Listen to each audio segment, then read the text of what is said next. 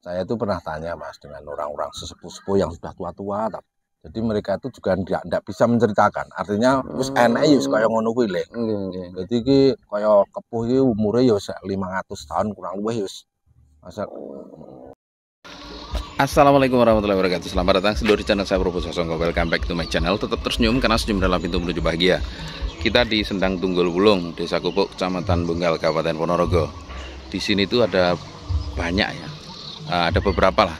Eh, Pasangan-pasangan pohon yang usianya sudah sangat tua. Bahkan menurut catatan kurang lebih 500an tahun atau lebih bahkan.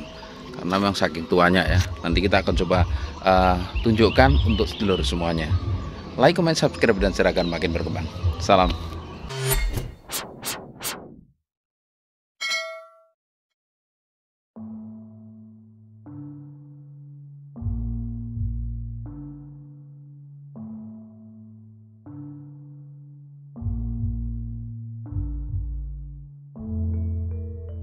Sedulur, kita kembali ke Desa Kupo, Kecamatan Bungkal, Kabupaten Ponorogo.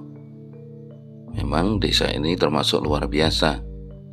Banyak sekali hal-hal yang menarik untuk bisa kita ceritakan. Salah satunya adalah Sendang Tunggul Wulung. Sendang Tunggul Wulung atau kadang masyarakat setempat mengenalnya sebagai Beji Kupo. Dulu tempat ini dikenal sebagai kawasan yang angker atau barangkali semacam wingit karena memang gelap sekali dipenuhi dengan semak-semak dan jarang ada orang yang berani datang. Satu hal yang menarik dari Beji Kupo atau Sendang Tunggul Wulung adalah airnya yang musim hujan maupun kemarau tak pernah kering. Apabila musim hujan datang, maka Sendang Tunggul Wulung ini airnya penuh. Namun jika kemarau datang, maka kurang lebih tinggal separuh. Ini karena pada bagian sisi selatan dari Sendang Tunggul Wulung ini ada mata air yang sangat besar. Nah, tentunya keberadaan mata air yang besar ini erat kaitannya dengan keberadaan pohon-pohon tua yang usianya memang sudah ratusan tahun yang ada di kawasan Sendang yang sekarang ramai dikunjungi para pemancing ini. Kawasan ini sekarang terlihat lebih asri atau bahkan indah, nyaman untuk dikunjungi. Ya setidaknya sebagai alternatif berlibur atau bersantai-santai di hari libur. Tadi di awal sudah kita kisahkan bahwa Beji Kupo atau Sendang Tunggul Wulung ini dulu dikenal sebagai kawasan yang angker. Kesan itu mungkin terbangun karena kawasan Beji ini dulunya memang dipenuhi oleh semak belukar. Pohon-pohon besar yang mana memang menambah kesan seram karena terlihat sekilas sangatlah gelap. Setelah beberapa tahun belakangan, kawasan ini kemudian dibersihkan, dirapikan, semak-semaknya dihilangkan.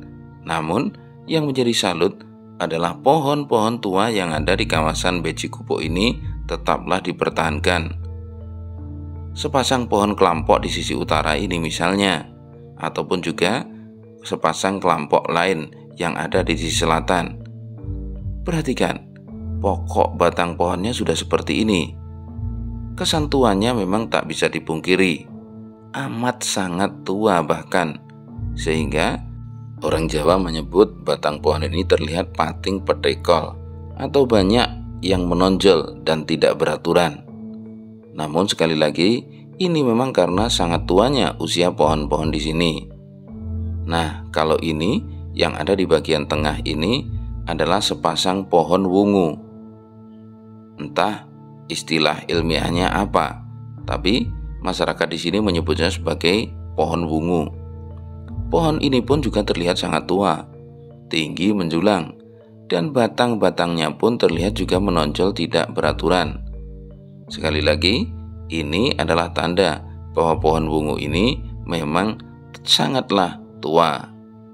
Tadi bahkan di muka, Mbak Lura sudah menyebutkan kurang lebih pohon ini usianya 500-an tahun. Namun saya justru berpendapat bahwa bisa saja pohon-pohon ini usianya lebih tua dari yang disebutkan Pak Lurah. Selengkapnya nanti ada di wawancara bagian belakang video ini. Kenapa saya beranggapan demikian? Karena Salah satu hipotesa menyebut bahwa kawasan Sendang Tunggul Wulung ini menjadi satu kesatuan tak terpisah dengan kawasan Beji Bedingin atau Beji Sirah Keteng.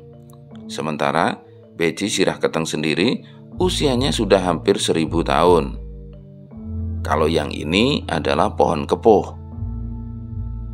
Pohon-pohon di sini bisa jadi menjadi pohon tertua di kawasan Ponorogo, karena kita tak lagi melihat pohon-pohon dengan kontur seperti ini di daerah yang lain. Nah, kita coba akan melihat dari dekat pohon kepoh yang ada di Sendang Beji Tunggul Wulung ini. Sangat besar memang batangnya, bahkan pernah dicoba delapan orang berdiri berkeliling dengan merentangkan tangannya, ternyata tidak cukup untuk memeluk pohon yang besarnya memang sungguh terlihat luar biasa ini. Mungkin kita tidak begitu memperhatikan, akan tetapi ketuaan pohon ini tentunya ada pengaruh dengan kondisi air di Sendang Beji Tunggul Wulung yang selalu tidak pernah kering dalam setiap tahunnya. Kita coba mendekat pada batang pohon kepoh ini. Nama ilmiah pohon ini pun saya juga tidak tahu. Nanti kalau ada saudara penonton atau pemirsa semuanya yang paham apa nama ilmiah dari pohon kepo ini, silahkan dituliskan di kolom komentar. Sekali lagi, pohon ini luar biasa besar dan tentu saja juga sudah luar biasa tua. Pohon kepo ini pun dulu sepasang, yang satu ada di sisi barat. Namun, yang di sisi barat sudah tumbang karena lapuk dimakan usia. Tapi alhamdulillah yang di sisi timur ini masihlah kuat, akarnya tertancap sehingga pohon ini terjaga kelestariannya. Nah, saya mencoba mendekat dan sedulur semuanya bisa perhatikan. Tubuh saya yang kurang lebih 80 kilo ini ternyata ketika mendekat uh, dari jarak kurang lebih 1 atau 2 meter pada pangkal batang pohon kepoh ini terlihat kecil saja. Artinya, pohon ini memang secara kasat mata terlihat luar biasa besar. Untuk sedulur semuanya yang ingin tahu silahkan datang ke Sendang Tunggul Wulung. Nah, yang menarik di sisi selatan dari Sendang Beji Tunggul Wulung ini adanya sepasang pohon kelampok yang terlihat sangat dekat atau bahkan seperti berdampingan. Ada mitos kuat yang dipercaya oleh masyarakat bahwa untuk orang yang sulit jodoh, maka mitosnya apabila mau bermain atau duduk-duduk di bawah pohon ini, biasanya Tuhan akan memberi jalan untuk mendapat kemudahan mencari jodoh atau enteng jodoh. Nah, mitos itu ternyata juga dipercaya orang-orang yang datang dari luar Beji Kupo. Makanya ini kemudian diberi semacam mainan atau ayunan di bawah pohon ini. Kisah ini tentu saja sangat menarik ya. Tapi sekali lagi ini adalah mitos. Jodoh, rezeki, pati, sinengker wawadining gusti. Artinya, jodoh, rezeki, dan kematian adalah rahasia ilahi. Maka, jangan begitu saja percaya mitos. Tapi, sebagai sebuah kearifan lokal, tentu saja kita perlu dan wajib untuk menghormatinya. Salam. Assalamualaikum Mbak. Waalaikumsalam Mas Rubo. Masih melanjutkan obrolan kita yang kemarin ya. Mumpung ini ketemu di uh, Sendang Tunggul Wulung. Sendang Siap. ini dulu anu ya Mbak, dari dulu memang tidak pernah kering ya airnya? Nggak pernah Mas. Walaupun kemarau oh. panjang tidak pernah kering sumbernya tetap memang gede dari, ya? memang asli sumber hmm, gitu. terus ini bang kan di sini banyak saya lihat banyak pohon gede gitu. ada mulai kepo iya, terus apa nih kok sing wungu. Wungu ada wungu, terus ada pohon-pohon langka kamplok gitu kelampok. Kelampok apa kamplok itu? Iya. itu kelihatan kalau pohonnya itu ya perasaan lu piye nah. Iya.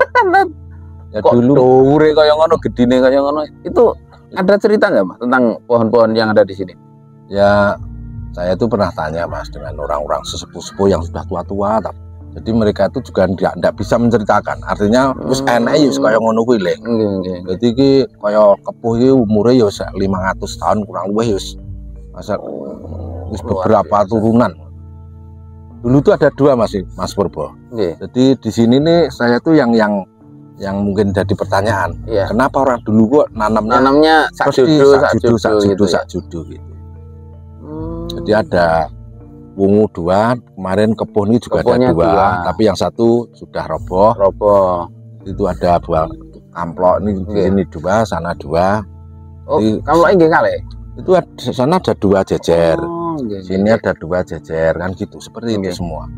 Kalau yang pohon kelampok atau kamplok ini lho, itu memang tertulis dalam Bapak Desa-desa di Ponorogo itu memang memang benar ratusan tahun tercatat itu. Ada ada datanya. Nah, ini malah yang kepoh eh, nek kamplok yang besarnya segitu usianya ratusan tahun berarti nek kepoh sing ngantek kaya ngene iki lho wite. Ya. Itu Itu delapan orang mas gini tuh. Kita coba, anu. ndak anu nggih, ndak muat nggih. ya sekitar delapan orang di depan. Masya Allah. Itu pernah, Mbak, ada ya kalau kita orang Jawa kan kadang melihat pohon besar itu biasanya ada yang sisi, sisi ya sisi yang lain ada nggak? Ya semua itu tinggal tinggal kita mas tapi artinya memang di sini semua itu kalau kita percaya loh ya Iya. pasti ada sisi Hmm, mistiknya ada semua itu. dulu itu kita ceritakan ya mas nggih. itu di sini itu bisa ditanyakan masyarakat jadi sini hutan Oh, kan ini luas sekitar 6 hektar nggih. hutan jadi tumbuhan wes sembarang enak Kayu gede tok. Nggih. terus yes anak ukur ulo Hmm. semacam itu seliro dan sebagainya pokoknya tidak ada orang yang berani menginjaknya tidak ada Ini. bisa ditanyakan masyarakat sekitar bahkan ambil satu batang Nggih. suruh mulangkan surupan Oh, nggih, Iya. nggih. bisa Saya ditanyakan dengar itu juga. Nek kayu kok kene digone tandalan ngono wis dadi perkara perkara gitu Iya. wong idul ya dadi perkara di 2013 setelah saya menjabat kepala desa itu memang saya berusaha untuk gimana tempat ini bisa saya manfaatkan nanti untuk Ah, anak cucu kita Iya. dengan kita bangun destinasi wisata walaupun ya berat. Iya, karena urusannya dengan anggaran. Dan dari nol. Dari nol memang Iya. dari nol. Jadi walaupun saya juga ditentang mas. Oleh masyarakat. oleh masyarakat Facebook "Sa- kok wani sampean wani kok ada apa-apa nih Bismillah dengan izin Tuhan yang Maha Esa ya mas? Iya. Allah subhanahu wa ta'ala.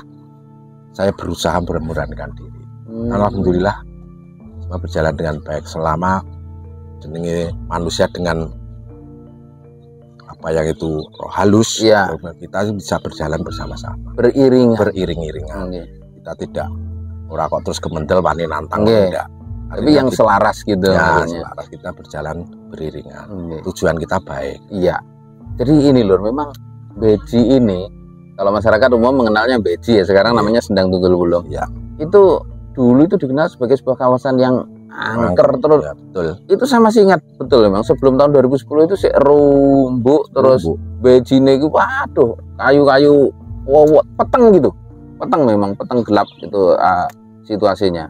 Kayaknya kayak nek cara di istilahnya wayang no jalma moro Jalma- mati. Ya, seperti betul. itu karena memang saking gawatnya tempatnya dulu eh, berkat Mbak Lurah eh, berinisiatif kemudian dibuka menjadi sebuah kawasan yang nyaman untuk dijadikan tempat bersantai tempat berkunjung dan lain sebagainya yang lebih luar biasa lagi eh, ternyata ada kaitannya menurut kita lah ya ada kaitannya antara ekosistem pohon-pohon yang masih ada sedemikian terjaganya dengan kondisi mata air atau sumber Ya. beji yang tidak pernah kering ya pernah Mbak kering walaupun kemarau. Nggih.